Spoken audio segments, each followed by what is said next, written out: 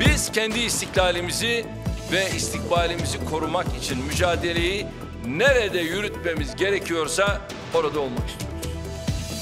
Şu anda bunun yeri Musul. Öyleyse biz Musul'da olacağız.